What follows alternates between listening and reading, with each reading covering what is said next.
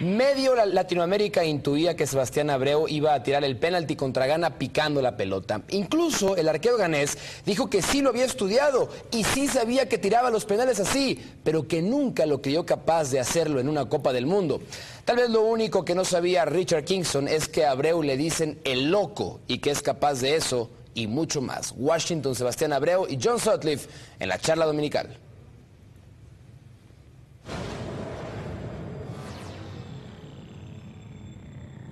Con nosotros Sebastián Abreu.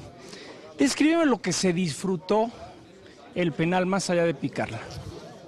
Se disfrutó con, como lo disfrutó todo el Uruguay, conseguir poder estar entre los cuatro mejores del mundo, eh, por las situaciones que se presentaron en el partido, emocionante, y poder eh, conseguir un nuevo objetivo de los que nos teníamos planeados, que gracias a Dios en base a, esa mentalidad, a esa credibilidad de grupo que tenemos y sobre todo el buen fútbol que está generando el equipo nos da esta chance de, estar viviendo todo esto que ves hoy, que es una locura de medios de prensa, de estar en boca de todo el mundo y bueno, eh, este sueño que es una, realidad lo queremos continuar. ¿Tu opinión de Holanda, un rival que, que ha ganado mucho este mundial? Es un equipo muy duro, exuberancia física, dinámico, con jugadores individualmente en el mano a mano desequilibrante pero bueno, nosotros creemos humildemente que tenemos argumentos futbolísticos como para darle pelea. ¿Qué ha hecho tan especial a Uruguay? Un proceso de cuatro años. ¿Qué, crees tú que ha sido la clave?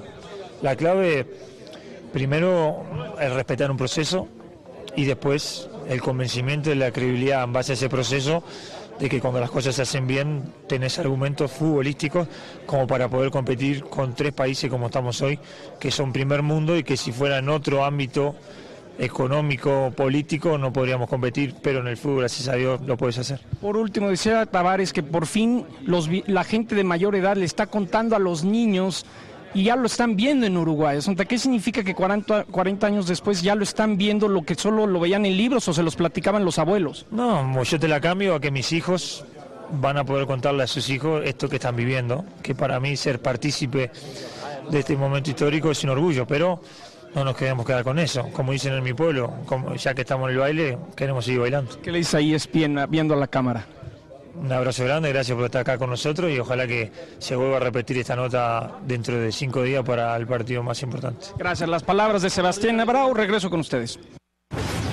Caballero como siempre, el loco que debutó con la selección uruguaya en 1996. Desde entonces ha jugado 58 partidos con la Celeste, ha hecho 26 goles. Actualmente disputa su, segunda, su segundo mundial con la Garra Charrúa y aún, ha marcado, aún no ha marcado gol en justas mundialistas, sin contar la tanda de penales, por supuesto.